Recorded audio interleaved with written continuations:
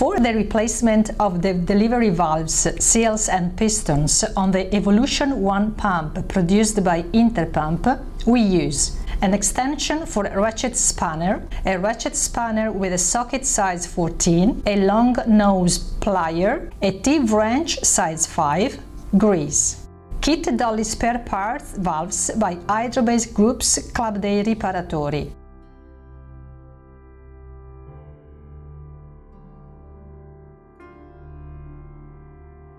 First, unscrew the three caps from the head top.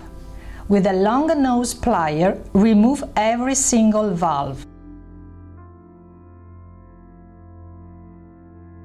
After removing the old valves and the O-rings, take a new valve kit of the Club dei Riparatori and start inserting the new O-rings in each housing, taking care to put them properly on the bottom. Then put the new valves in each housing, using a little pressure to fit them well into the seat. Tighten the three caps with a ratchet spanner and the socket size 14. For the replacement of the suction valves on the Evolution 1 pump, proceed as follows. First, loosen the caps with a ratchet spanner and the socket size 14. In order to work easily, remove the head by using a T-wrench size 5. Pull the screws out of the head, unscrew the loosened caps. With a long nose plier, remove one by one the O-rings and the old valves. Insert the new O-rings in each housing, taking care to put them properly on the bottom. Then put the new valves in each housing, using a little pressure to fit them well into the seat. Tighten the three caps with a ratchet spanner and the socket size 14.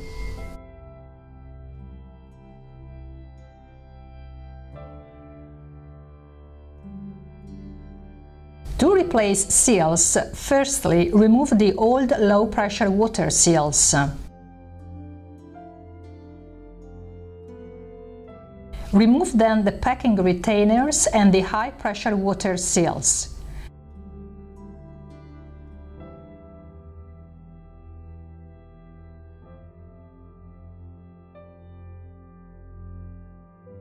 Replace the worn O-rings with the new ones around the packing retainers.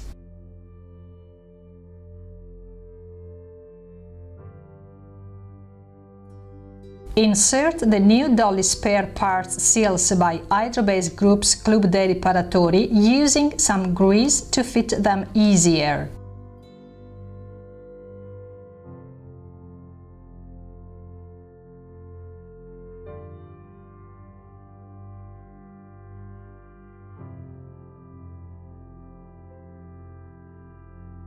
Seals must be carefully placed in their seat in the head.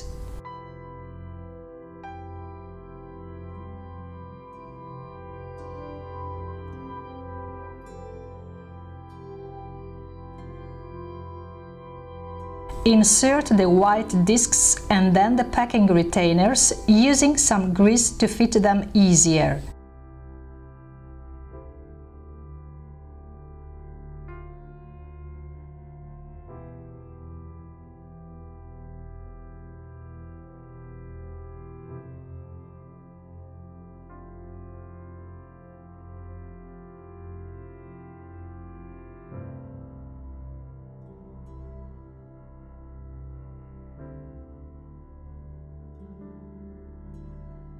Take the black low pressure water seals and place them inside the packing retainers. Finally, apply some grease around the seals to ease their insertion into the plunger. To replace the plunger, loosen the screws with a wrench size 8 and remove the broken plungers.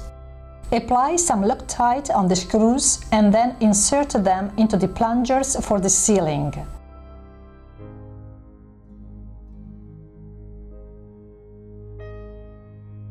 Place the plungers gently, otherwise the ceramic casing may break.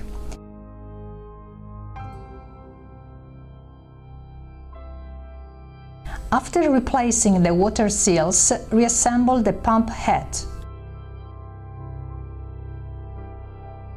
Place the screws to fix the head.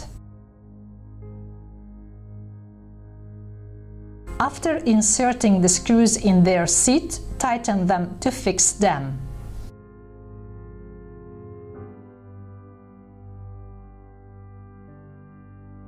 As regards the testing procedure, turn on the test station and insert the machine's code. The test station finds automatically the data corresponding to those of the machine.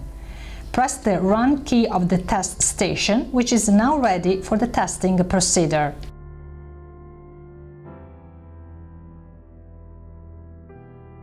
Press the Start key so that the test station can perform the electrical checks.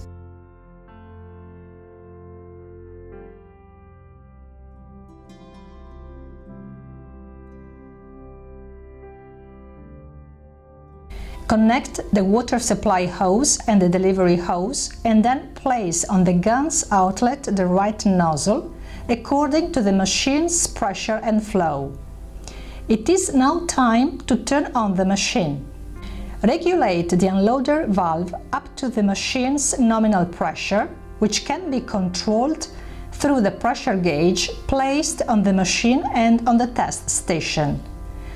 After calibrating the valve, lock the maximum pressure point by raising the ring nut and stop the grain inside it. The testing procedure ends with the release of the machine's pass test report.